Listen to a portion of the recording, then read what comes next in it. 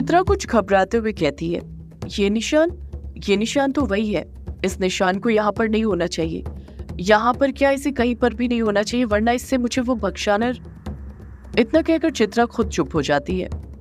चित्रा उस निशान को देखते हुए गुस्से के साथ नाम में अपना सिर हिलाते हुए कहती है, नहीं नहीं, मैं इस निशान को यहाँ पर नहीं रहने दूँगी, मिटा दूँगी इसे। मैं नहीं चाहती कि वो भक्शानर इतना कहकर चित्रा तुरंत ताबूत के नज़दीक जाती है। अपने हाथ ताबूत पर रखती है। उसके तीन लंबे नुकीले पैने नाखून जो कि बचे हुए थे, उनसे चित्रा उस निशान को खरोचने लग जाती है। उस निशान को मिटाने लग जाती है। जैसे चित्रा उस ताबूत पर खरोचना शुरू करती है, उस जगह में से चिंगारी निकलने लग जाती है। चित्रा गुस्से के साथ उस निशान को खरोचते रहती है। जब युग चित्रा को वो पांचवा निशान ताबूत पर से मिटाते हुए देखता है तो उसे याद आता है कि जब उसे ताबूत मिला था तो उसे भी यही लगा था कि किसी ने ताबूत पर से पांचवा निशान जानबूझकर मिटाया था, पर उसे ये नहीं पता था कि ताबूत पर से वो निशान मिटाया किसने था। युग मन में सोचने लग जाता है। अब मेरी समझ में आ रहा है कि ताबूत पर से जिसने वो पांचवा निशान मिटाया था, वो कोई और नहीं बल्कि माँ ही थी। पर माँ ये निशान मिटा क्यों रही है? आखिर ऐसा क्या है इस पाँचवें निशान में? इसका मतलब क्या है? युग फिर से आँसू की बूंद के अंदर देखने लग जाता है और देखता है कि चित्रा गुस्से के साथ उस निशान को ताबूत पर से मिटाने में लगी हुई थी। जहाँ एक तरफ़ चित्रा उस निशान को मिटाने में लगी हुई थी, वहीं दूसरी तरफ़ ग्रेवयार्ड कोठी में मौजूद काले साय को उस चीज़ का एहसास होने लग जाता है कि कोई ताबूत के साथ कुछ कर रहा है। उसे एहसास होता भी कैसे नहीं? आखिर वो ताबूत उसी के धुएँ और शक्ति स्रोत बॉट फ्लाई से जो बना हुआ था। काले साय के अंदर एक तड़प मचने लग जाती है, उसका जी मचलने लग जाता है। काला साय गुस्से के साथ खुद से कहता है कोई मेरे ताबूत के साथ कुछ कर रहा है, पर वो कौन है? किसकी इतनी मजाल हुई जो मेरे ताबूत को छुए? अगले पल काला साया अपनी आँखें बंद कर लेता है। कुछ देर बाद जब काला साया अपनी आँखें खोलता है तो उसके अंदर का गुस्सा और ज़्यादा बढ़ जाता है। काला साया कहता है, मैं कुछ देख क्यों नहीं पा रहा हूँ? ये क्या हो गया है मेरी शक्ति को? मैं पता क्यों नहीं लगा पा रहा हूँ कि मेरे ताबूत के पास कौन है? कौन है वो जो मेरे खिलाफ जा रहा है? मैं उसे छोड़ूँगा नहीं, मसल कर रख दूँगा। इतना कहकर काला साया ग्रेवयार्ड कुठी से बाहर निकलने लग जाता है। जैसे ही लूसी की नज़र काले साय पर पड़ती है, वो झाड़ियों के पीछे छुप जाती है। जब काला साया ग्रेवयार्ड कोठी की सीमा के बाहर अपना कदम रखता है, उसे एक करंट का झटका सा लगता है और वो धड़ाम से ज़मीन पर जाकर गिर जाता है। काला साया गुस्से से भनकते हुए कहता है, वहाँ आखिर क्या था? मुझे ये झटका क्यों लगा? इतना कहकर काला साया फिर से खड़ा होता है और आगे बढ़ने लग जाता है।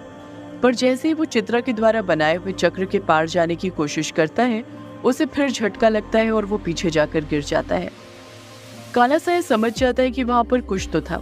ऐसा कुछ जो उसे आम नज़रों से दिखाई नहीं दे रहा था। काला साया खड़ा होता है और उस पूरी जगह को गौर से देखने लग जाता है, पर उसे तब भी कुछ नज़र नहीं आता है। उसे सब चीज़ें नॉर्मली लग रही थी। काला साया उस पूरी जगह को देखते हुए मन ही मन कोई सा मंत्र बड़बड़ाने लग जाता है। जैसे ही वो मंत्र पढ़कर खत्म करता है, ग्रेवयार्ड कोठी के चारों तरफ़ चित्रा ने जो चक्र बनाया था, वो चक्र दीवार का रूप ले लेता है। वो दीवार हरी रोशनी में चमकने लग गई थी। काला साया उस हरी रोशनी से बनी हुई दीवार के आर पार आसानी से देख पा रहा था। वो हरी रोशनी से बनी हुई दीवार सात हिस्सों में बटी हुई थी। जब काला साया उस हरी रोशनी से भरी हुई दीवार को देखता है तो उसकी आँखें खुली की खुली रह जाती है। पहले तो वो बस उस दीवार को एकटक देखते ही रह जाता है। कुछ बोल ही नहीं पाता है, पर जब काला साया उस हरी दीवार को सात हिस्सों में बटा हुआ देखता है तो वो समझ जाता है कि वो सप्तम चक्र था, जिसमें से एक चक्र इस वक्त उसके सामने था। काला साया उस दीवार को ऊपर से लेकर नीचे तक देखते हुए हैरानी के साथ कहता है, ये तो सप्तम चक्र है, इसे किसने बना दिया? काला साया उस चक्र को बड़े गौर से देखते हुए कहता है, ये सप्तम चक्र तो डायन ही बना सकती है, पर इसे किस डायन ने बना दिया? वो भी ग्रेवयार्ड कोठी के बाहर जहाँ पर मैं रहता हूँ। कौन सी ऐसी डायन आ गई जो मेरा रास्ता रोकना चाहती है? काला साया सोचने लग जाता है कि कौन उसके खिलाफ जा सकता है। तभी उसके दिमाग में कुछ आता है और अगली पल वो हड़बड़ाहट के साथ बोल पड़ता है। कहीं वो डायन, वो भगवाड़ी चित्रा तो नहीं? काला साया हाँ में अपना सिर हिलाते हुए कहता है हाँ वो डायन, वो भगौड़ी ही होगी। वो डायन बनकर लौट आई है। अच्छा हुआ वो लौट आई। अब मैं उसे छोड़ूँगा नहीं। उसे क्या लगता है कि ये सप्तम चक्र बनाकर वो मुझे रोक सकती है? बिल्कुल नहीं। वो जानती नहीं मैं कौन हूँ। मैं भक्षानर हूँ। जिसे यक्षिणी तक खत्म नहीं कर पाई थी, वो मुझे क्या रोकेगी? अगले पल काला सा एकटक नज़र से उस हरी दीवार को देखने लग जाता है। वो अपने दोनों हाथ उस दीवार की तरफ़ करता है और देखते ही देखते उसके हाथ में से धुआँ और कई सारे बोर्ड फ्लाई एक साथ निकलने लग जाते हैं, जो सीधे जाकर दीवार से टकराने लग जाते हैं। इस तरफ़ पंचम गाँव में चित्रा ने ताबूत पर बना पांचवा निशान मिटा दिया था और वो चौथा निशान मिटाने के लिए उस तरफ़ अपने हाथ बढ़ाने लग गई थी। पर उसी वक्त उसे भी एहसास हो जाता है कि कोई उसके बनाए सप्तम चक्र को तोड़ने की कोशिश कर रहा था। वो अच्छे से जानती थी कि वो कौन हो सकता है, जो उसके सप्तम चक्र को तोड़ने की कोशिश कर सकता है। चित्रा अपनी आँखें बंद करते हुए कहती है, मुझे बताओ, लूसी, वो भक्षानर क्या कर रहा है? कहाँ पर है इस वक्त वो? जैसे ही चित्रा खुद से ये बात करती है, उसे वो सब दिखने लग जाता है जो इस वक्त लूसी देख रही थी। लूसी झाड़ियों के पीछे ही छुपी हुई थी और भक्षानर को सप्तम चक्र को तोड़ते हुए देख रही थी। चित्रा को भी यही पूरा दृश्य दिखने लग जाता है। चित्रा खुद से कहती है, मुझे लगा ही था कि ज़रूर ये भक्षानर ही होगा जो मेरा बनाया हुआ सप्तम चक्र तोड़ रहा है। पर मुझे ये नहीं लगा था कि इसे इतनी जल्दी मेरे बनाए हुए चक्र के बारे में पता चल जाएगा। इसे क्या लगता है? कि मेरे बनाए हुए सप्तम चक्र को आसानी से तोड़ देगा। मैं भी देखती हूँ कैसे तोड़ पाता है ये मेरे चक्र को। ये जानता नहीं, ये चक्र नहीं महाचक्र है। इसने तो मुझे चक्रव्यूह में फंसाया था, पर मैंने इसे सप्तम चक्र में फंसाया है। वो सप्तम चक्र जिसकी सात परतें हैं। इतनी आसानी से ये इन परतों को नहीं तोड़ पाएगा। इस तरफ़ काले साय ने अपनी पूरी ताकत लगा दी थी उस सप्तम चक्र को तोड़ने में। उस हरी दीवार के अंदर छेद होने लग गया था। वो बॉडफ्लाई जो मांस खाते हैं वो हरी रोशनी से बनी दीवार को खाने लग गए थे।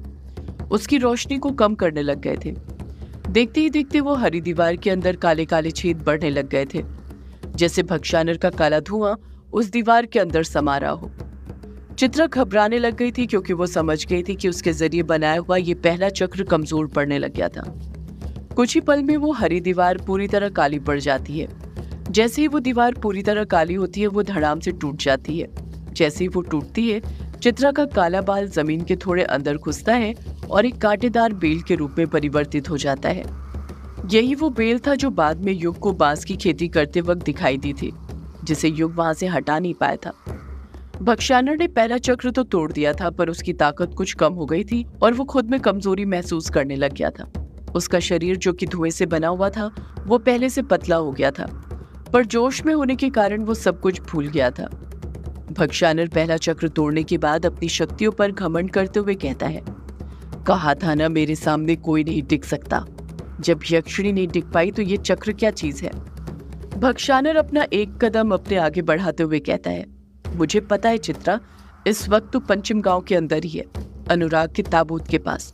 तू वहीं पर रुक, मैं वहीं पर आ रहा हूँ। आज मैं तेरा खेल हमेशा हमेशा के लिए खत्म कर दूँगा। आज तेरी कहानी का दी एंड होने वाला है। इतना कहकर भक्षानर तेज़ी के साथ अपने कदम आगे बढ़ाने लग जाता है। उसके आगे बढ़ते ही लूसी भी छुपते हुए उसके पीछे जाने लग जाती है, ताकि चित्रा देख सके कि वहाँ पर क्या चल रहा था। इस तरफ़ पंचिम गाँव में चित्रा की घबराहट और ज़्यादा बढ़ गई थी। उसकी घबराहट धीरे धीरे डर का रूप लेने लग गई थी। चित्रा खुद से बात करते हुए कहती है, ये क्या? इस भक्षानर ने तो पहला चक्र तोड़ दिया। ये कैसे हो सकता है? वो इतनी आसानी से मेरा बनाया हुआ चक्र कैसे तोड़ सकता है? अगर वो सारे चक्र तोड़कर मेरे पास पहुँच गया तो मैं क्या करूँगी? कैसे सामना करूँगी उसका? चित्रा डरने लग जाती है। डर के कारण उसका बदन पसीने से भीगने लग जाता है।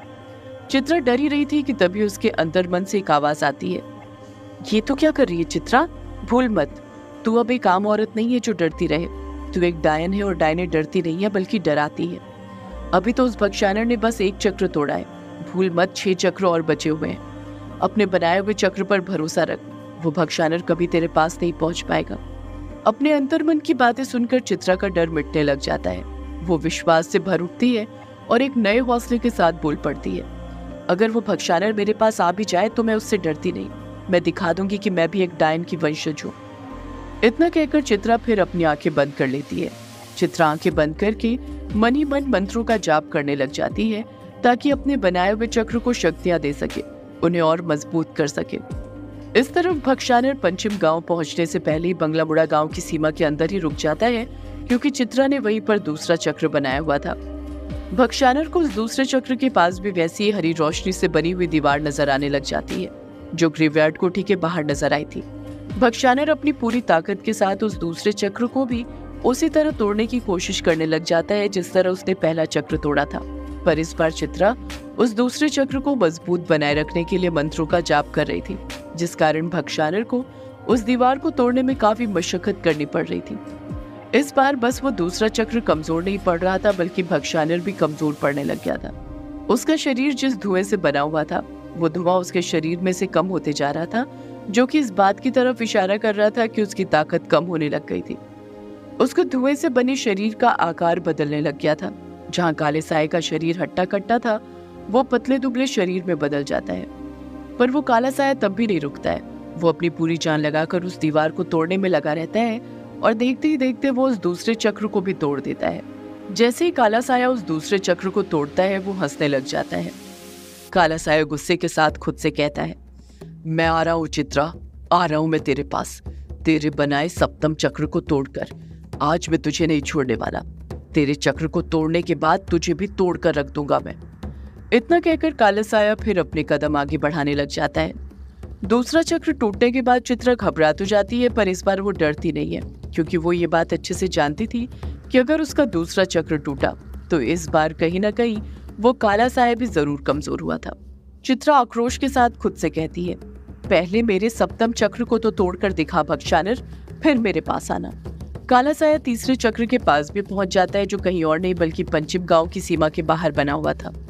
भक्षानर उस चक्र को भी तोड़ने लग जाता है। उसके हाथ से फिर धुआँ और बॉटफ्लाई निकलते हैं और हरी रोशनी से बनी दीवार में जाकर टकराने लग जाते हैं। पर इस पर धुएँ और बॉटफ्लाई की तादाद कम हो चुकी थी। वो कुछ ही बचे थे। चित्रा ने भी इस तरफ़ चक्र को और मज़बूत करने के लिए फिर से मंत्र पढ़ना शुरू कर दिया था। काला साया अपनी ताकत के साथ उस दीवार को तोड़ने में लगा ही हुआ था कि तभी उसके हाथ में से जो धुआँ और बॉटफ्लाई निकल रहे थे वो निकलने बंद हो जाते हैं। ये देखकर वो काला साया हैरान रह जाता है। काला साया परेशान होते हुए खुद से कहता है, ये मेरी शक्तियों को क्या हुआ? ये काम क्यों नहीं कर रही है? काला साया फिर अपने हाथ में से धुआँ और बॉट फ्लाई निकालने की कोशिश करता है, पर इस बार भी कुछ नहीं होता है। जब कई कोशिश करने के बाद भी कुछ नहीं होता है तो काला साया खुद उस दीवार के पास जाता है और अपनी मुक्की मारकर उस दीवार को तोड़ने की कोशिश करने लग जाता है। काला साया बहुत कोशिश करता है, पर इस बार वो उस तीसरे चक्र को जरा सा भी नुकसान नहीं पहुँचा पाया था, बल्कि खुद कमज़ोर होने लग गया था कि उसका शरीर जो धुएँ से बना हुआ था, वो मिटने लग गया था। उसके शरीर का आकार धुएँ में टूटने लग गया था। वो समझ गया था कि अगर इसी तरह वो अपनी शक्ति का उपयोग करते रहता तो वो मिट जाएगा। काला साया हार मान लेता है और दीवार को तोड़ने की कोशिश बंद कर देता है। काला साया उस दीवार को ऊपर से लेकर नीचे तक देखते हुए कहता है मुझे पता है चित्रा, तू मुझे देख रही है। आज तो मैं जा रहा हूँ, पर मैं वापस आऊँगा, अपनी शक्तियाँ बढ़ाकर। मैं कुछ ही दिनों में अपनी शक्तियाँ वापस पालूँगा और तेरे इन सप्तम चक्र को तोड़ कर रख दूँगा। जिस वक्त ये सप्तम चक्र टूटेगा तो समझ लेना तेरा अंत भी आ चुका है। फिर तुझे मुझसे कोई नहीं बचा पाएगा।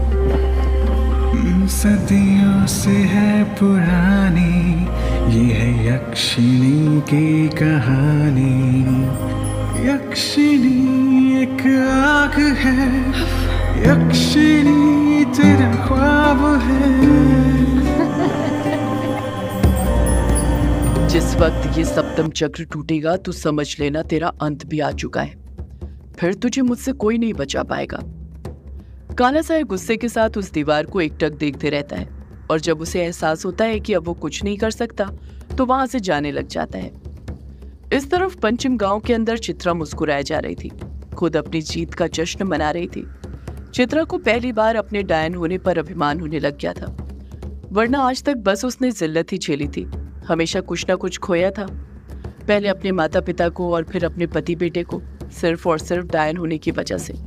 चित्रा मुस्कुराहट के साथ खुद से बात करते हुए कहती है मैंने डायन बनकर एकदम सही फैसला लिया है। आखिरकार इतने महीनों की मेहनत करने के बाद मैंने उस भक्षानर को एक छोटी सी जगह में सिमट कर रहने के लिए मजबूर कर दिया। अब वो कभी सप्तम चक्र को तोड़ नहीं पाएगा। और अगर उसने तोड़ने की कोशिश भी करी तो वो आज जान ही गया होगा कि उसका हश्र क्या होगा। अभी तो उसका शरीर बस वापस धुएँ में बदला है। एक दिन ऐसा आएगा जब वो धुआँ ही नहीं बचेगा और वो अपना शरीर कभी नहीं बना पाएगा। देखते ही देखते आँसू की बूंद के अंदर फिर से हलचल होने लग जाती है। युग को सब कुछ धुंधला नज़र आने लग जाता है। कुछ देर बाद उसे चित्रा का चेहरा नज़र आने लग जाता है। युग कुछ सोचता उससे पहले ही चित्रा युग से बोल पड़ती है।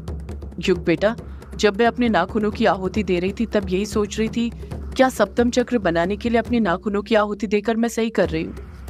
पर वो भक्षानर जब उस सप्तम चक्र को तोड़ नहीं पाया, तब मैं जान गई थी कि कोई भी आहुति कभी भी खाली नहीं जाती। उसका असर ज़रूर होता है। युग बड़े गौर से चित्रा की सारी बातें सुनते रहता है। चित्रा फिर युग से बोल पड़ती है। उस रात भक्षानर का अंश बस दो ही चक्र तोड़ पाया था। पर मैं जानती थी कि वो जल्द ही अपनी शक्तियाँ वापस से हासिल करने के बाद बाकी के बच्चे चक्र को तोड़ने के लिए भी ज़रूर आएगा।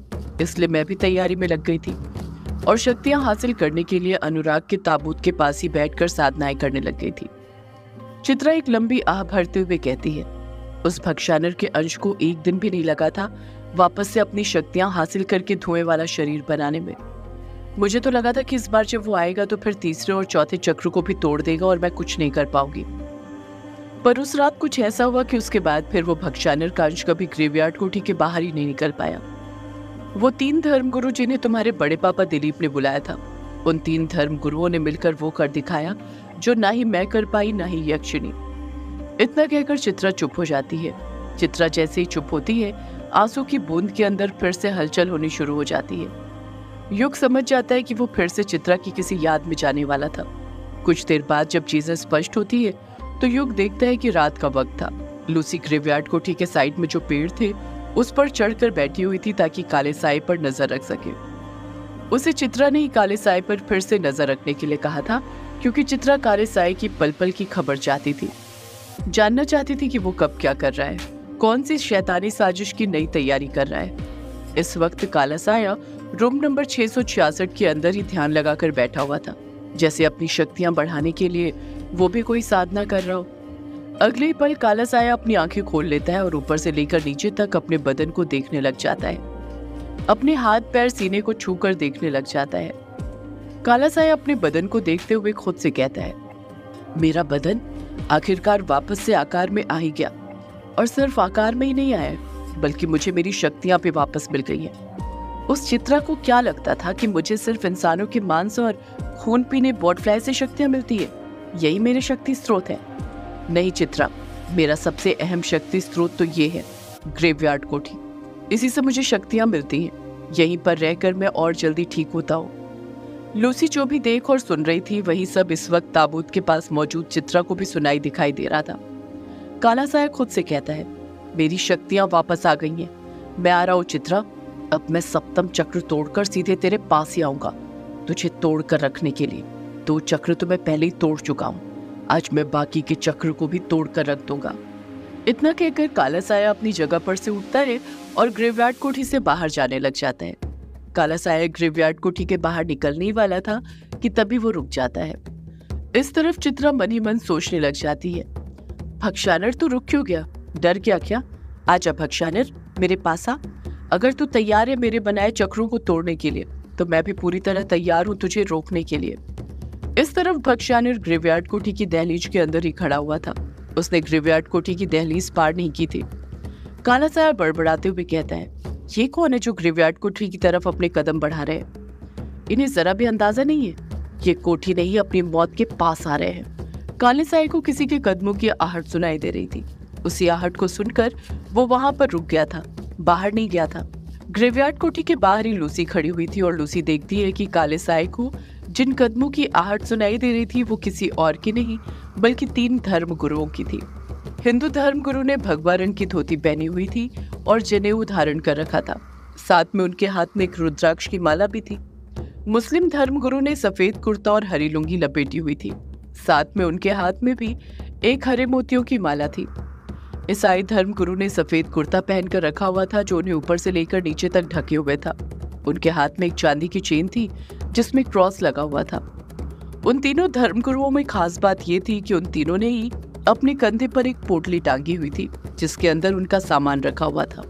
उन तीनों धर्मगुरुओं के साथ ही दिलीप और बल्लू काका भी चल रहे थे। वे पाँचों लोग अभी ग्रेवयार्ड कोठी तक पहुँचे ही थे कि तभी तीनों धर्मगुरु वहीं पर रुक जाते हैं, अपने कदम आगे नहीं बढ़ाते हैं। दिलीप तुरंत पूछ पड़ता है, क्या हुआ गुरुवर? आप तीनों रुक क्यों गए? हिंदू धर्म गुरु कहते हैं। अब तुम्हारे जाने का वक्त हो गया दिलीप। तुम जा सकते हो।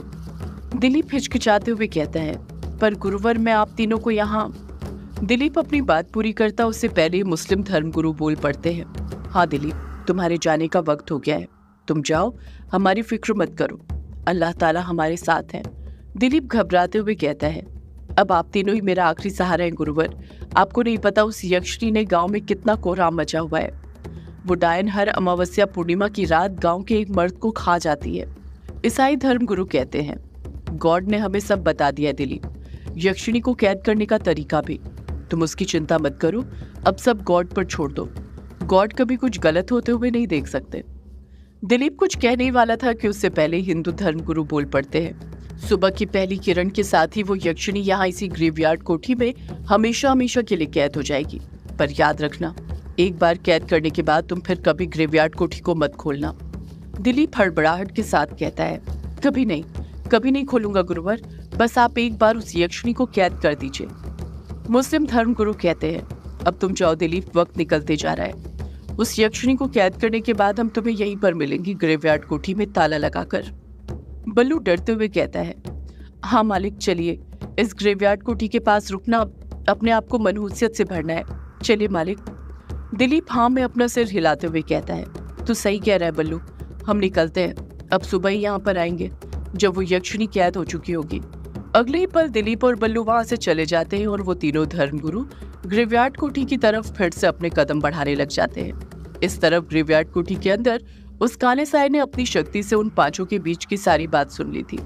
काला साय खुद से बड़बड़ाते हुए कहता है, इस डायन चित्रा की वजह से मैं तो भूल ही गया था कि ये दिलीप तीन धर्म गुरुओं को भेजने वाला है। आखिर इनकी वजह से तो मुझे अनुराग का शरीर वहाँ पंचिम गाँव में छुपाना पड़ा। और अब उस अनुराग के शरीर पर वो डायन चित्रा कब्जा करके बैठ गई है। पहले इन तीन धर्म गुरुओं से निपटता हूँ, उसके बाद उस चित्रा से निपटूँगा। काला साया मुस्कुराते हुए कहता है, ये तीनों मूर्ख धर्म गुरु यक्षिणी को कैद करने के लिए आ रहे हैं, पर इन्हें क्या पता यक्षिणी तो इतना कहकर काला साया ज़ोर ज़ोर से हंसने लग जाता है और अगले ही पल वहाँ से ओझल होने लग जाता है। इस तरफ़ वो तीनों धर्मगुरु ग्रेवयार्ड कोठी की दहलीज के बाहर ही खड़े हुए थे और बड़े गौर से ग्रेवयार्ड कोठी को देखे जा रहे थे। ऐसा लग रहा था जैसे ग्रेवयार्ड कोठी को बाहर से देखने से ही उन तीनों को कुछ महसूस हो रहा हो, जिस कारण वो तीनों दरवाजे पर ही रुक गए थे। मुस्लिम धर्मगुरु कहते हैं, वो यही है, मैं उसे महसूस कर सकता हूँ। हिंदू धर्मगुरु कहते हैं, मुझे भी यहाँ पर नकारात्मक शक्ति महसूस हो रही है। ईसाई धर्मगुरु कहते हैं, मैं भी उसे महसूस कर सकता हूँ। वो तीनों धर्मगुरु एक दूसरे को देखते हैं और अगले पल एक साथ ग्रेवयार्ड कोठी के अंदर घुस जाते हैं। जैसे ही वो तीनों ग्रेवयार्ड कोठी के अंदर कदम रखते हैं, उन्हें और ज़्यादा नकारात्मक शक्ति का एहसास होने लग जाता है। उन तीनों ने अपने हाथ में जो मालाएँ पकड़ी हुई थी, उसमें हलचल होने लग जाती है। वो तेज़ी के साथ हिलने लग जाती है। ये देखकर वो तीनों धर्मगुरु हैरान रह जाते हैं, क्योंकि इतनी ज़्यादा नकारात्मक शक्ति का एहसास उन्हें आज से पहले कभी नहीं हुआ था। उन तीनों की मालाएँ तकरीबन दस सेकंड तक खिलती रहती है, फिर उसमें हलचल होनी बंद हो जाती है। वो तीनों धर्मगुरु अपने आसपास देखने लग जाते हैं, पर उन्हें कहीं भी कुछ हलचल होती हुई नज़र नहीं आती है। ग्रेवयार्ड कोठी में एकदम से सन्नाटा छा गया था। वो तीनों धर्मगुरु देखते हैं कि ग्रेवयार्ड कोठी काफ़ी बड़ी थी। ईसाई धर्मगुरु कहते हैं, वो यक्षिणी है तो यहीं पर। मुझे अभी काली शक्ति का एहसास हुआ था, पर वो छुप गई है। हम तीनों को उसे जल्द से जल्द ढूंढना चाहिए। वो भी अलग अलग दिशा में ताकि वो जल्दी मिल सके। एक बार वो मिल जाए, फिर वो हमेशा हमेशा के लिए कैद होकर रह जाएगी। बाकी के दो धर्म गुरु भी ईसाई धर्म गुरु की बात मान जाते हैं और वो तीनों ही हॉल में ही अलग अलग दिशा में जाते हुए यक्षिणी को ढूँढने लग जाते हैं। ग्रेवयार्ड कोठी में एक अजीब सा सन्नाटा छाया हुआ था। जिस कारण जरा भी कोई हलचल होती थी तो वो आहट गूंजने लग जाती थी। वो तीनों धर्मगुरु नीचे तल पर जितने भी कमरे थे, सब में जा रहे थे और यक्षिणी को तलाश कर रहे थे। तीनों धर्मगुरु ने अपना लॉकेट आगे करके रखा हुआ था। ताकि जैसे ही उसमें मूवमेंट हो तो वो समझ जाए कि यक्षिणी वहाँ पर है। हिंदू धर्मगुरु अपना कदम आगे बढ़ाते हुए कहते हैं, यक्षिणी, तुम जहाँ भी हो, हमारे सामने आ जाओ। इस तरह हमारे साथ छल मत करो, वरना इसका परिणाम अच्छा नहीं होगा। ईसाई धर्मगुरु अपने कदम बढ़ाते हुए कहते हैं come out you impure Yakshini God will punish you Muslim धर्मगुरु जो किचन के अंदर यक्षिणी को ढूंढ रहे थे, वो कहते हैं ए बदनीयत यक्षिणी, तू यदि मेरी बात सुन रही है तो मुझे अपनी मौजूदगी का एहसास दिला। मैं तेरे पास आना चाहता हूँ। बता मुझे तू कहाँ पर है। तुझे अल्लाह का वास्ता। वो तीनों धर्मगुरु अलग अलग अंधेरे कमरे में यक्षिणी की तलाश कर रहे थे कि तभी उन तीनों की मालाओं में एक साथ हलचल होने लग जाती है। उनकी मालाएँ हिलने लग जाती हैं और वो उस हलचल का पीछा करने लग जाते हैं। पहले वो माला धीरे धीरे हिल रही थी, पर वो तेज़ी के साथ हिलने लग जाती है। वो तीनों धर्मगुरु जैसे अपने कदम आगे बढ़ाते जा रहे थे, उनकी मालाओं में और ज़्यादा मूवमेंट होते जा रहा था। उन तीनों ने अपनी नज़रें अपनी माला पर ही टिका दी थी, जिस कारण वो अपने आसपास देख ही नहीं पा रहे थे। बस माला को हिलते हुए देख उसका पीछा करते जा रहे थे। उन तीनों की मालाओं में इतनी तेज हलचल होने लग जाती है कि जैसे कोई उनकी माला को उनसे छीनने की कोशिश कर रहा हो। उन तीनों की माला एक दिशा की तरफ़ एकदम सीधी हो गई थी। वो तीनों धर्मगुरु अपने कदम आगे बढ़ाई रहे थे कि तभी तीनों के सामने एक दरवाज़ा आता है जो कि बंद था, जिस कारण वो वहीं पर आकर रुक जाते हैं। जब वो तीनों अपना सिर ऊपर करते हैं तो देखते हैं कि वो तीनों धर्मगुरु, जिन्होंने यक्षिणी को अलग अलग दिशा में ढूंढना शुरू किया था, वो तीनों आखिर में एक ही दरवाजे के पास आकर खड़े हो गए थे। उनकी दैवीय मालाएँ उन्हें एक ही दरवाजे के पास ले आई थी। उस दरवाजे पर ही एक नंबर प्लेट लगी हुई थी। ईसाई धर्मगुरु प्लेट पर लिखे नंबर को पढ़ते हुए डर के साथ कहते हैं रूम नंबर छह सौ छियासठ? ये तो शैतान का नंबर है। सदियों से है पुरानी ये है यक्षिणी की कहानी। यक्षिणी एक आग है यक्षिणी तेरा ख्वाब है।